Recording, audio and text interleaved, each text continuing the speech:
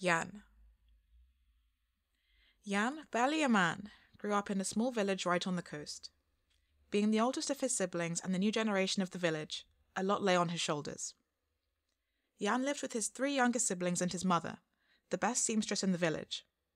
Yan's mother worked hard for her family, sewing the village's finest clothes, bedding, bags, and curtains while keeping an eye on the children. Yan's father was the village houndmaster. He bred and trained sheepdogs for the village farmers, Great Danes for the village guards, and bloodhounds for the village hunters. Yan's father was a very talented houndmaster, supplying trained dogs to many nearby villages and towns. Yan's father even trained wolves for the most skilled of hunters.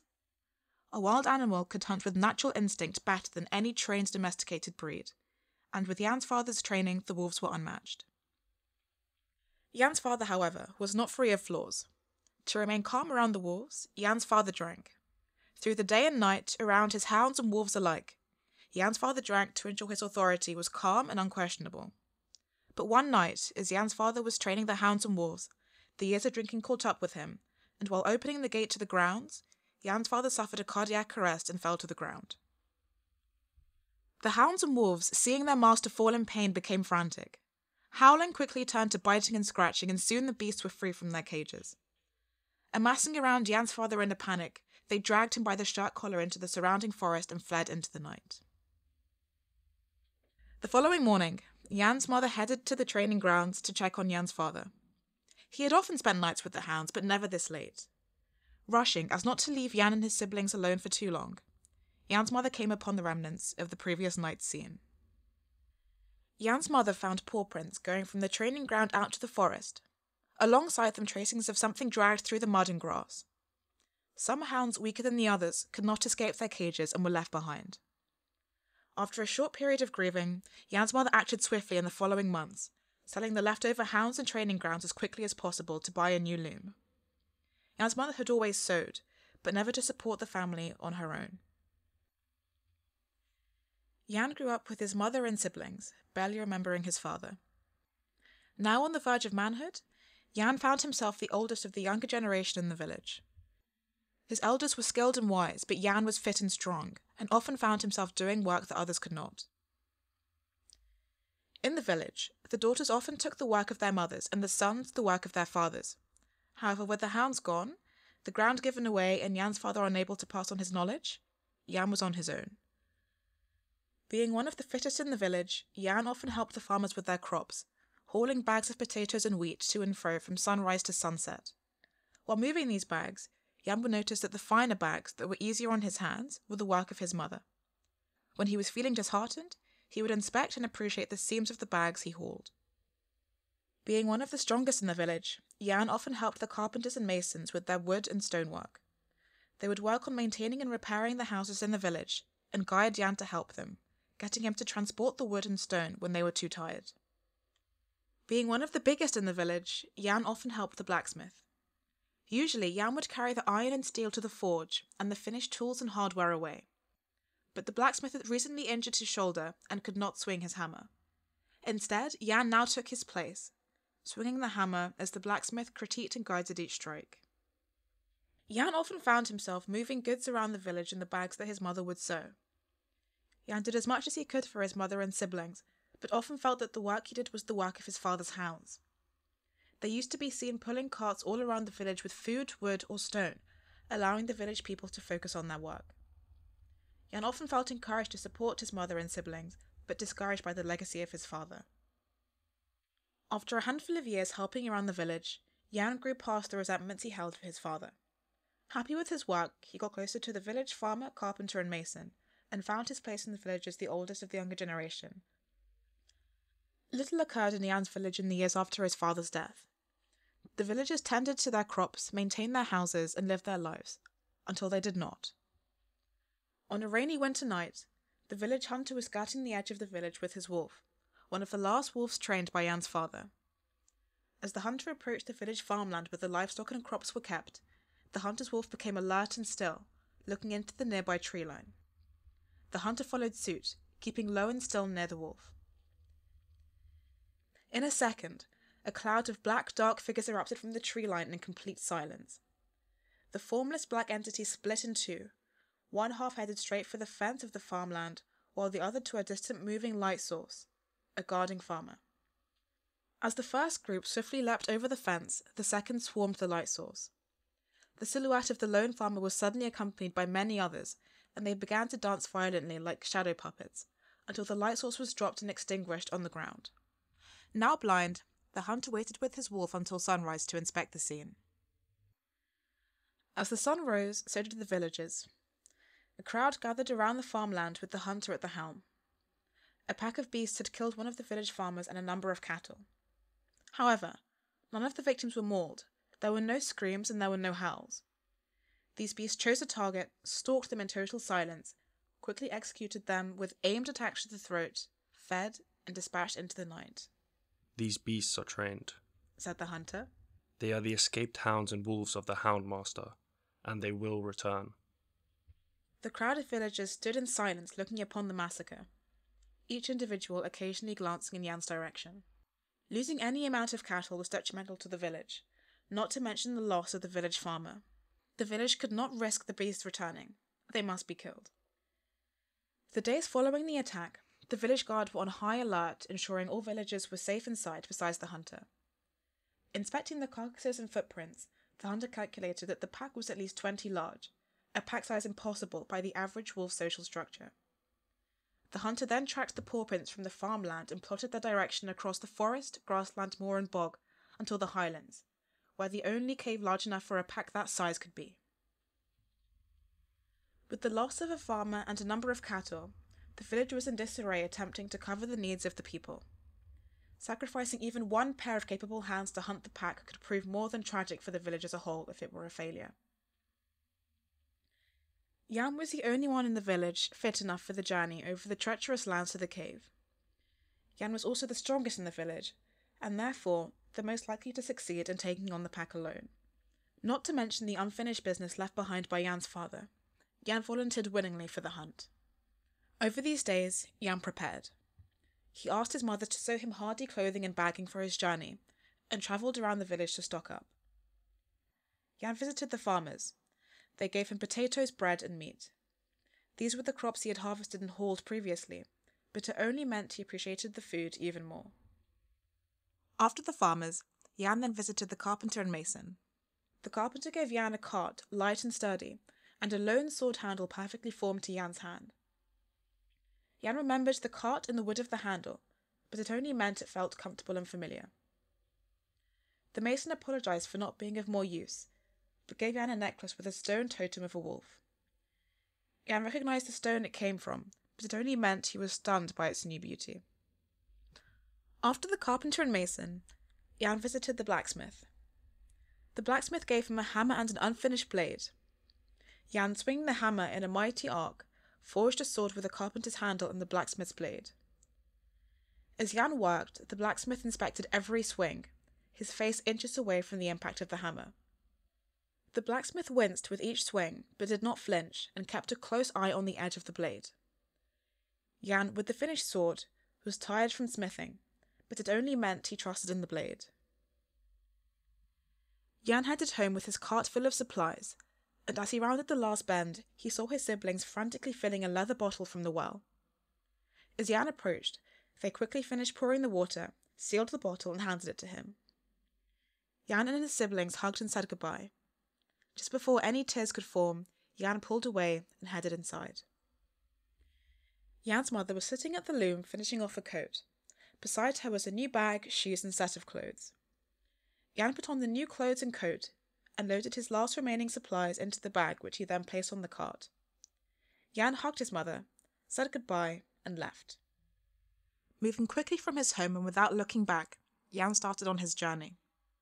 Going from his home to the farmland and then into the nearby tree line, he began to follow the map of the hunter. A small path led Yan through the forest.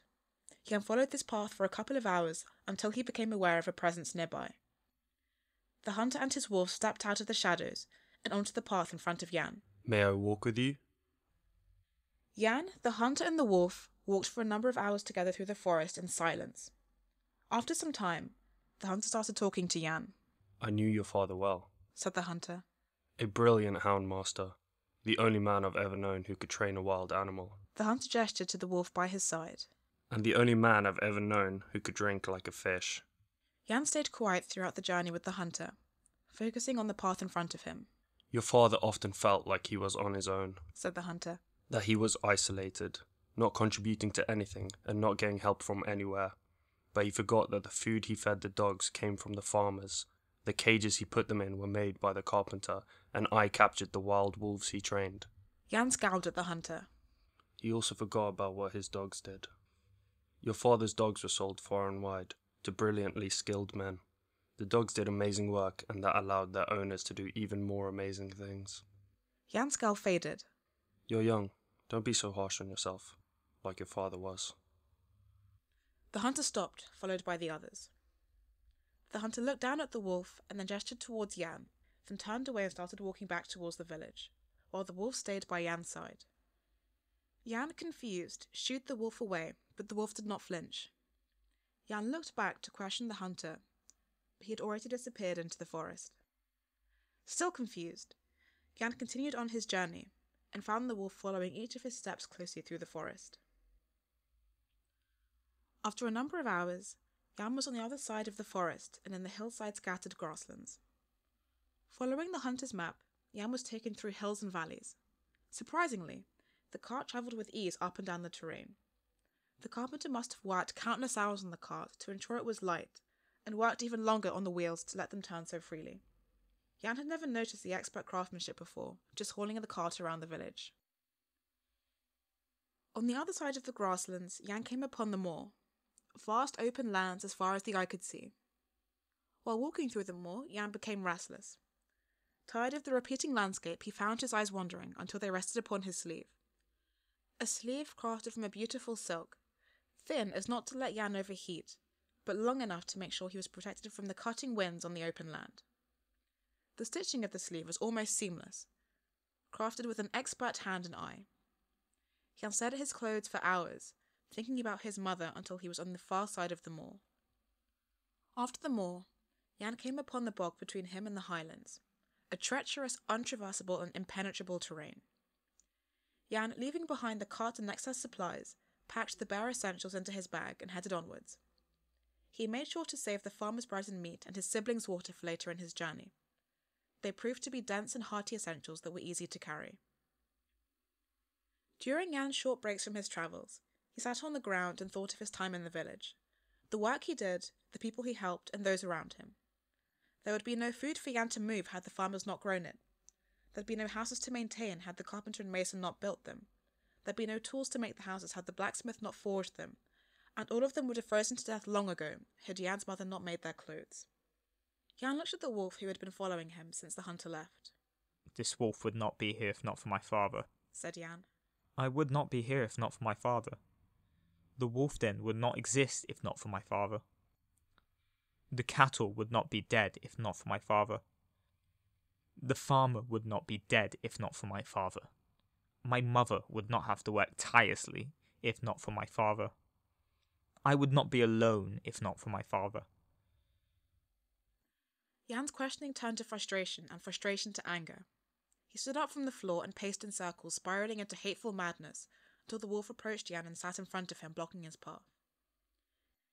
Yan noticed he was pacing in the direction back the way he came, back towards the cart on the edge of the bog. Yan looked down at the wolf and remembered the gift from the mason. Yan took the necklace off and held it in his hand. The totem was made of rock and sculpted into the head of a wolf. Well detailed, the totem seemed to depict a specific wolf, not dissimilar to the one at Yan's feet. Yan remembered the great rock he had delivered to the mason months before. He remembered how he noticed the size of the rock getting smaller and smaller each week he saw the mason. Yan remembered walking in on the mason while he was sculpting that rock. The mason would sit and stare at the rock for hours, deliberating and deciding on what to do. Yan remembered the mason making mistakes, correcting them, and even having to scrap what he was sculpting in its entirety. Yan remembered what the rock could have been a fireplace, a gravestone, a stone brick, but instead it became the totem of a wolf in Yan's hand. The mason had been stuck many times with the rock. He had to start again and fix mistakes he had made. But at the end of it all, the mason had made the totem by persisting even when it seemed pointless. The totem may be a product of the mistakes of the mason, but it didn't mean the totem was defined by them, and it didn't make the totem any less beautiful. Yan realized he wasn't going to the mountain to fix the mistakes of his father and return to life as it was before the pack. It would be impossible. Yan was going to the mountain to keep chiseling and to forge something new. With the totem in hand, Yan gained a new motivation to traverse the bog and continue his journey alongside the wolf. Yan came upon the highlands, a mountainous and equally treacherous region. Few from Yan's village had ever ventured this far.